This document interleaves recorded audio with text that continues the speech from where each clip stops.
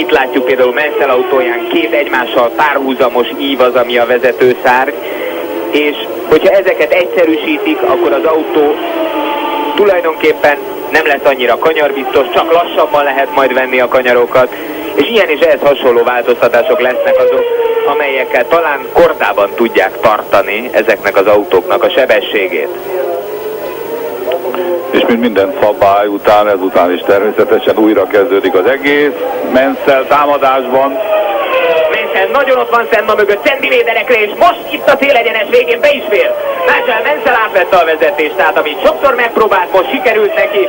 Menszel az élen, Senna a második, és Senna böcsületére legyen mondva, hogy ahogy tavaly ugyanezt a manővert nem engedte Menszelnek, most ugyanaz történt, ami tavaly, itt Senna ráhúzott tavaly Menszelre, most azonban úriember módjára elengedte a gyorsabb autót.